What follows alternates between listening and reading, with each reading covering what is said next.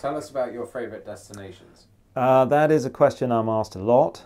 Uh, my answer is usually the place I went to last, and that's because I, I love all these places. They, they, they, all have great characteristics. They're all fantastic, you know, assuming you're not flooded off or blown off or, or whatever.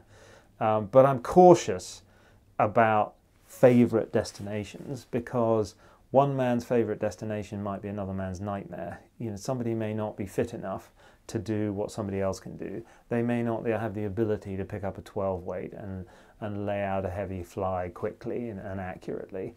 Um, other people know rivers better or have got to know people better, and therefore those places become their favorite. So, favorite destination or relying on what I think is a favorite destination is a, is is tricky. For me, I love the visual part of fishing. So anywhere where there's visual is is the best place for me.